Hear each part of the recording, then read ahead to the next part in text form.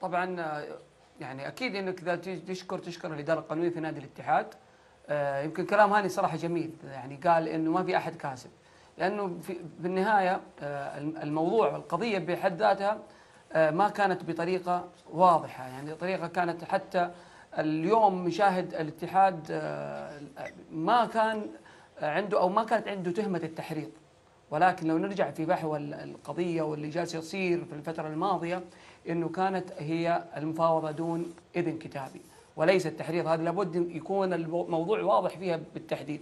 أكيد إنه الاتحاد آه، الغرامه آه، اللي تثبتت على على الإداريين وعدم التسجيل وأيضا الاكتفاء بالمدة. هذا شيء أكيد إيجابي. راح يعطي الاتحاد إنه يكون أفضل ويركز داخل الملعب في الفترة جميل. القادمة.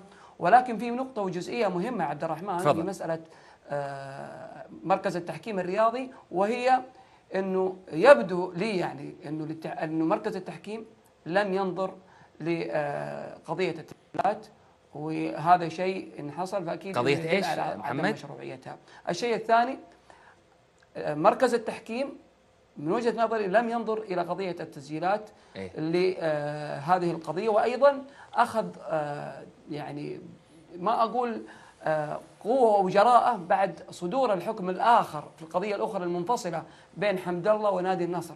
أكيد لما حصل الموضوع انه الاتحاد الدولي في الفترة الماضية عندما حكم على نادي النصر بدفع قرامة مالية وهي المبالغ المالية المتأخرة للاعب حمد الله في مسألة أنه آه، لم ينظر إلى قضية التسجيلات بحيث أنه القضية لم تنتهي في الاتحاد السعودي. وهذا أيضا أعطى مركز التحكيم جرأة في اتخاذ القرار في وقت أعتقد وقت مناسب تماما أنه الوقت اليوم قبل المونديال بأيام ويصدر هذا القرار. أكيد في تحقيق يعني حتى ما شاهدنا ذاك التشنج وما شاهدنا تلك الأصوات الإعلامية والإعلام اللي آه، كان في الفترة الماضية عندما كان الدوري آه، في أوج آه، استمراريته.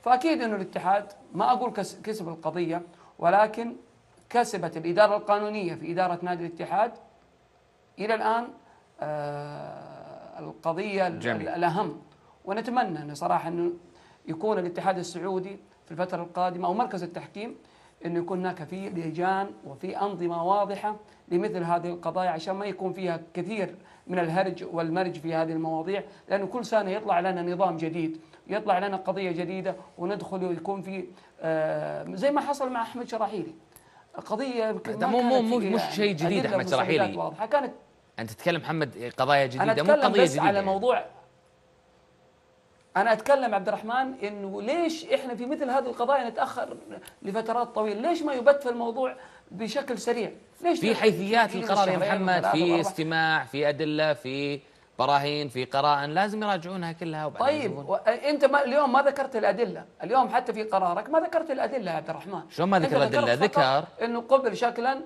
لا لا ذكر. قال إنه ذاكرة رقمية لا أنا أتكلم. وقال مستندات واجتماعات وبعدين رسائل وبعدين آه، خطابات من شركات دعاية وإعلان وغيرها من الأمور. أول مرة صرنا نشوف لجنة الاحتراف تنزل مثل هذا البيان ترى.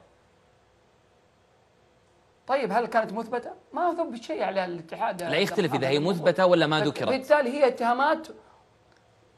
ما إلى الآن أنا اللي شاهدته ما ذكر شيء يعني في شلون ما ذكر شيء؟ يرجع للقرار. ولكن أتكلم عبد الرحمن. 12 قرينة مذكورة. الموضوع الآن هل قبل الاحتجاج؟ السؤال لا هنا لا لا رفض رفض الاحتجاج. قبل شكلا رفض موضوعا. وقابل للاستئناف الان رفض. وعنده الحق للاستئناف نعم الآن انتظر الاستئناف هل طيب. في نادي الشباب ولا طيب ننتظر. ننتظر كلنا بننتظر يا محمد. معك إحنا وايش ورانا إحنا نشوف ذي القضايا وننتظرها. هذا اللي ورانا لما يرجع دورينا وننشغل إن شاء الله في